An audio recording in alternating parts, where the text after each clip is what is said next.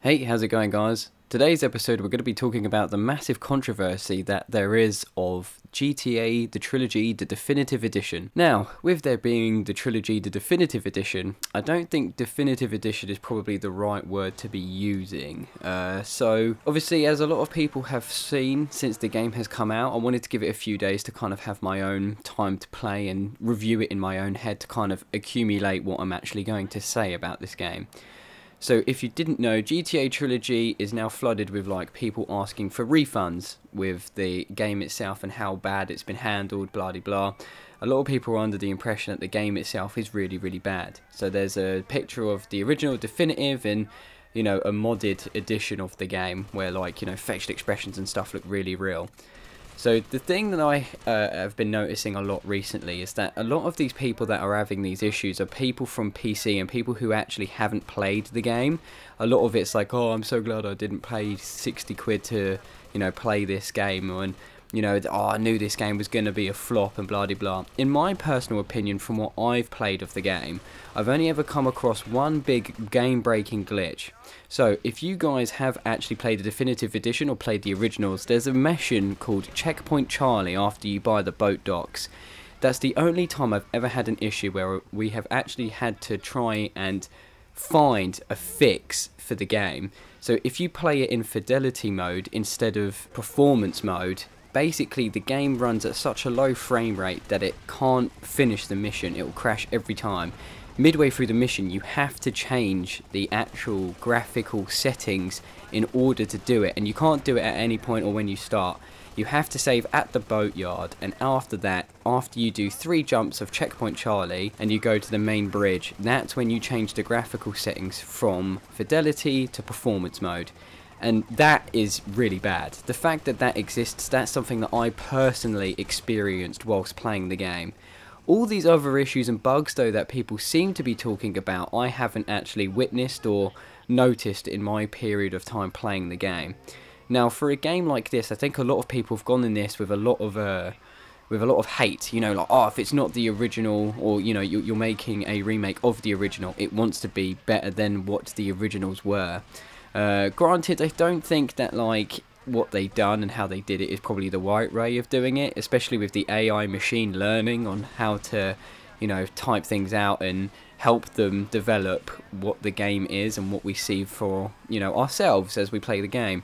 In my personal opinion, though, I don't feel like that I've wasted my 60, uh, sorry, my 55 pounds or 60 dollars in this case for you Americans and the only reason why I say that is simply because, well, unfortunately, in this day and age that we are in, every year that any Call of Duty game comes out, if there's an issue, guess what? There's a patch, there's a fix, there's an update. There's the game is never fully finished anymore.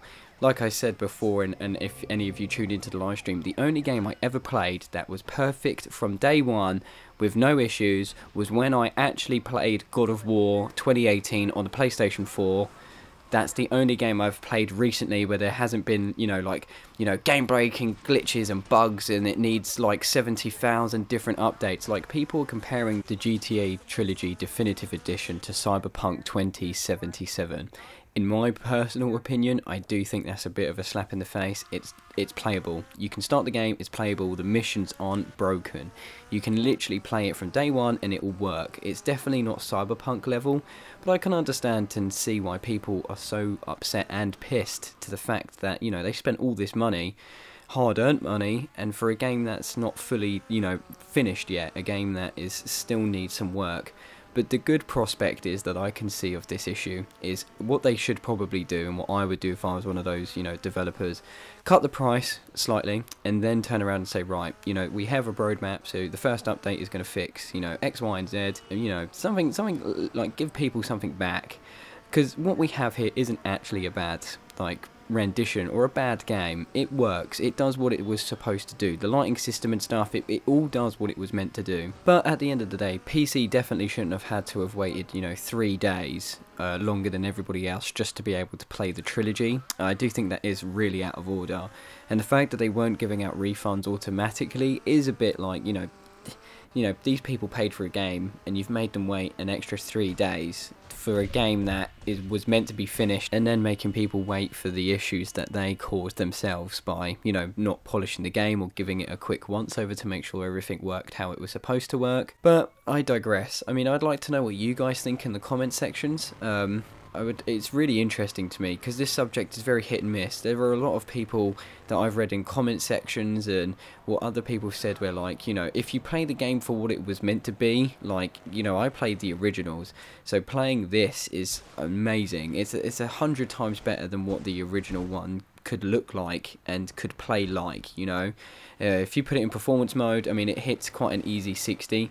Uh, fidelity, it definitely has that jittery, like, lagging effect. But if I'm honest with you, after playing the originals on, like, the newer consoles and stuff, I'm quite used to the jitteriness. So, you know, there's something about it where it's like, yeah, you know, I remember this game when it used to lag. But I can also see the two sides of the coin where some people are like, you know, it shouldn't be lagging. It's a PlayStation 5, there should be no issues. Which, you know, if you wanted to have it on a higher graphical setting, it should be a capped at 4K 60. Or, you know, with the graphical setting being set for performance, it should be consistently smooth all the way through.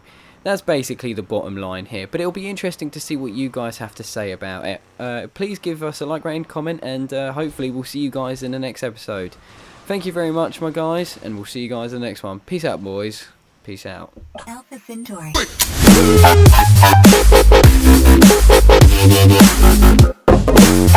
Ha ha ha!